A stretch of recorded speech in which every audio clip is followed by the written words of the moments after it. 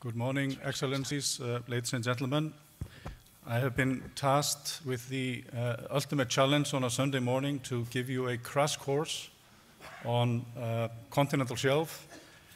And towards the end, I will show you a few slides of the Icelandic continental shelf. The first question that, that always comes up when discussing the issue is what is the continental shelf? Uh, you see, as you see on the picture, the continental shelf is the submerged prolongation of the landmass of the coastal state. Uh, and it reaches all the way to the deep ocean floor, consists of the shelf, the slope, and the rise. And you see on the picture the foot of the slope, which is the place where there is the biggest gradient along the, at, at the end of the slope.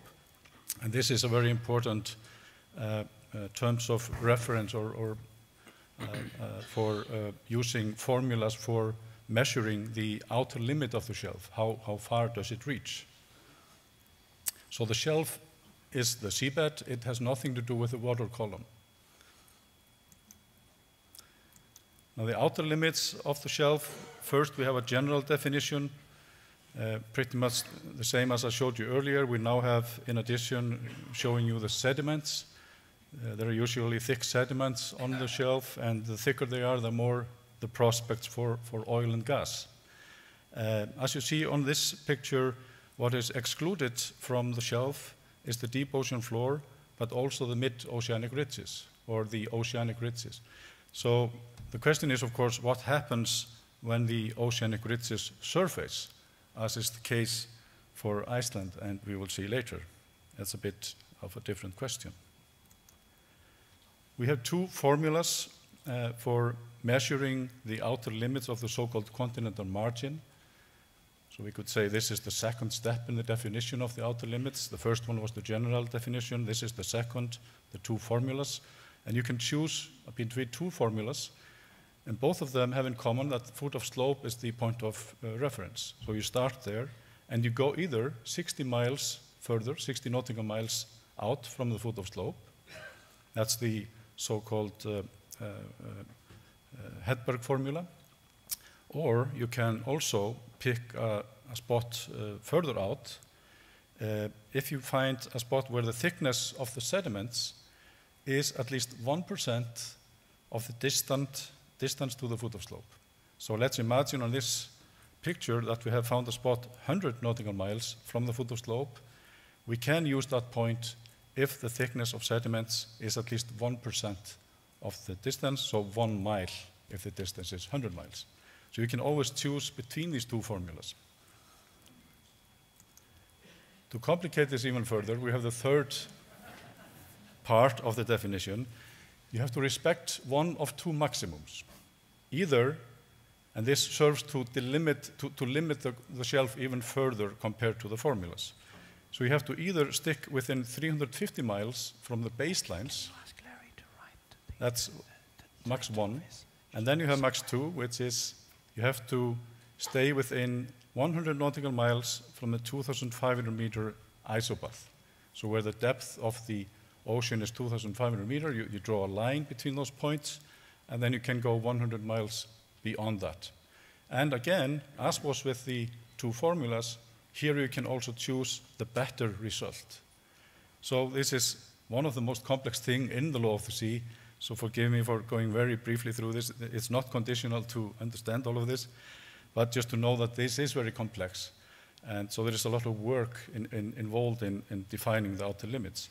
In this example here, the outer limit uh, in this particular example would be the max 2 because the, uh, the, the, the, sediment thickness formula gives the best result, but then you have to withdraw, and max 2 gives a better result than max 1, so max 2 is the result.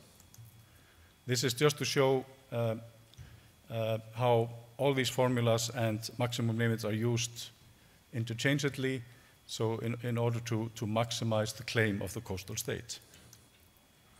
To complicate this even further, and since we are in Iceland on the top of the mid-Atlantic ridge, I really need to uh, mention this. We have three types of seafloor highs. One is the, uh, the, the oceanic ridges on the deep ocean floor. This is excluded from the continental margin. Then we have so-called submarine ridges. There you have a maximum limit of 350 nautical miles. And then you have submarine elevations that are natural components of the continental margin. In this case, you can choose between the two maximums, so either the 350 miles or 2,500 meters uh, isobath plus 100 nautical miles. Um, so the big question is, like in the case of Iceland, do we have a submarine ridge or do we have a submarine elevation? It's a very big and important question. We have a very important body, one of the three institutions set up under the Law of the Sea Convention. Uh, the Commission on the Limits of the Continental Shelf states that believe that they have a continental shelf beyond 200 nautical miles. All states that have 200 mile zone, exclusive economic zone, have uh, authority over the seabed up to that limit.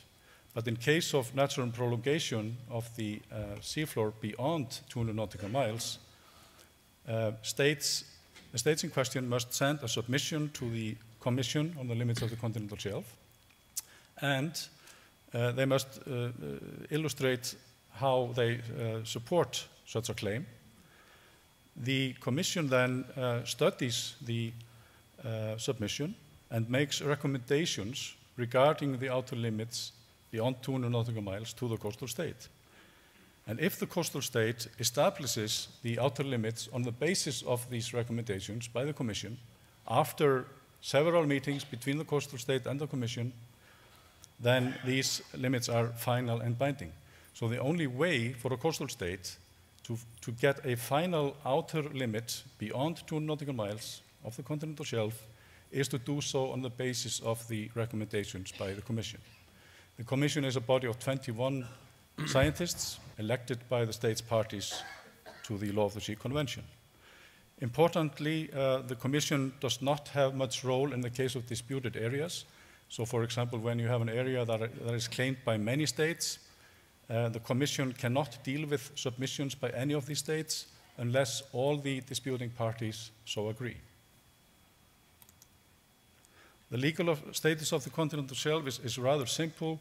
Uh, the coastal state has uh, sovereign rights with respect to exploration and exploitation of the resources of the shelf. Uh, but the water column outside of the 200 mile nautical miles, outside of the exclusive economic zone, is high seas and is untouched by the fact that the coastal state has special rights on the seabed.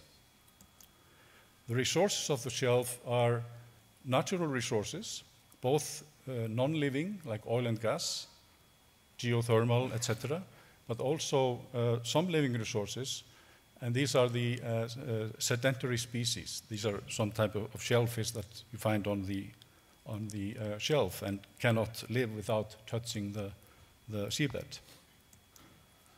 Now, coming to our territory, you see that Iceland is sitting on the top of the mid-Atlantic ridge, so it's a very exciting uh, issue for scientists and, and, and, lawyers to, to figure out how to deal with that rare case. Uh, this is the Icelandic exclusive economic zone first, we, just to show that we have settled all our issues with the neighboring countries, Greenland, uh, Faroes, Norway, and also the UK. We had overlaps with all of these, and uh, we have solved all of these. This is to show you the joint exploitation area between Iceland and Norway, between Iceland and Jan Mayen, which belongs to Norway. A very uh, special agreement made in 1981. And turning now to the Icelandic continental shelf, we have three areas. First one, the Ægir Basin in the northeast. We have solved uh, the delimitation there with Norway and the Faroes. The Reykjanes Ridge uh, is uh, towards the southwest. And then the third one is the Hatton Rockall area, which is disputed Iceland, Ireland, UK, and Faroe Islands, Denmark on behalf of Faroe Islands. They all claim this area. So when Iceland made its submission to the Continental Shelf Commission in 2009, uh, we uh, limited our submission to the Ægir Basin and the western and southern parts of the Reykjanes Ridge, which are uncontested uh, by other states, uh, but left out the disputed Hatton Rockall area, bearing in mind that the Commission does not have a role in case of disputed areas And we are now having uh, meetings with the Commission. There is a submission, subcommission established by the Commission of seven members that is uh, dealing with the Icelandic uh, submission. We have had two meetings al already. We'll have a third round in November and are hopeful that we will reach some settlement, some understanding with the Commission perhaps early next year to uh, find a settlement of, of the Icelandic continental shelf towards the southwest. Just to underline that uh, uh, Iceland does not have any claim as far as, far as continental shelf is concerned in the Arctic, uh, in the central Arctic Ocean. We are closed off, so to say, by Greenland and Jan Mayen and Norway, etc. But of course, that does not mean that we do not have rights there in terms of fishing, shipping, etc. But as you see from this uh, uh, picture, we have certainly sufficient continental shelf area to be concerned about. This is just to show a, a, a profile along the Mid-Atlantic ridge from, from south to the north. And you see the so-called Charley-Gibbs fracture zone. This is the, the southern limit, uh, according to our own estimates of the continental shelf. You could say, well, if you want to walk, if you want to hike the mountain Iceland, where do you start that walk? I would say you start it on the Charley-Gibbs fracture zone. So again, this is the, the, the picture and our southern border is, is at that place. And we will find out pretty soon uh, the, the, what is going to be precisely the settlement, the, the understanding reached between, Iceland and the uh, Commission. Thank you very much.